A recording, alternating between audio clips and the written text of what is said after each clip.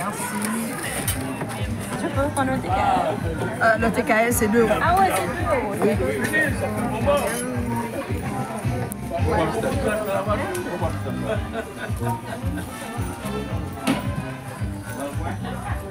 La